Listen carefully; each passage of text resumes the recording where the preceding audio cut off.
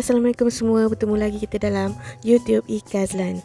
Hari ni kita nak masak apa? Kita nak masak ketam sambal telur. Ini kita ada ketam. Kita akan uh, bersihkan dia.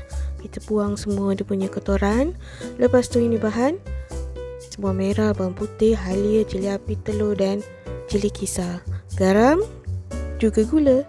Lepas tu ada sos Sos cili, sos tiram Juga dengan sos minyak bijan Lepas tu kita panaskan minyak.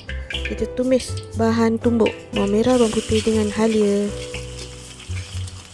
Kita kacau hingga naik bau. Korang mesti tahu kan Bawang kalau kita tumbuk lebih sedap daripada kita kisar. Kemudian kita masukkan uh, cili kisar dalam satu sendok ataupun lima sudu besar. Kita kacau, kita masak hingga pecah minyak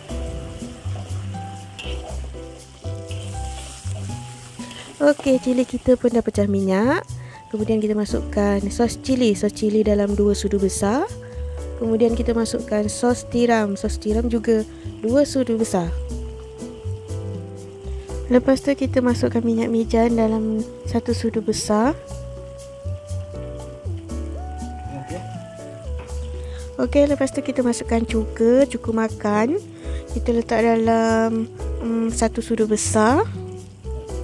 Cuka ni ada rasa masam-masam sikit.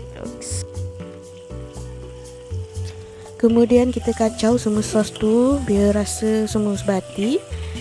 Okey, kemudian kita akan masukkan cili api. Kalau suka pedas, uh, korang tambahlah banyak-banyak. Ini biasa-biasa je. Kemudian kita masukkan garam, gula.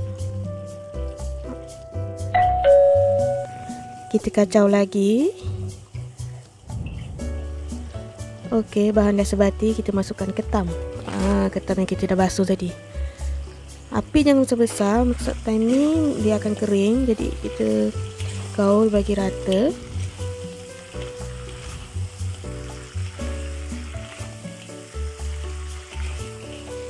Okey, kemudian kita masukkan air.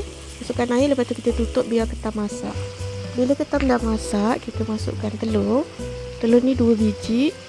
Kita pukul-pukul rata lepas tu kita tuang dekat ketam api kena kecil kemudian kita gaul-gaul rata biar laju sikit biar telur tu dia salut dekat ketam bukan dekat kuali kemudian ha, ini dah nak siap dah ni Okey kalau nak cantikkan lagi masakan kita ni kita letak daun bawang. Ha daun bawang ni bukan secara sekadar nak cantik je. Dia akan bagi rasa juga pada masakan kita. Kalau korang nak tahu, korang kena cuba. Kalau korang tak daun sup, dia akan jadi lain tau. Ha, dia memang kena letak daun bawang. Okey, dah dah dah siap masakan kita. Ketam sambal telur. Korang boleh subscribe, like and share. Selamat menonton.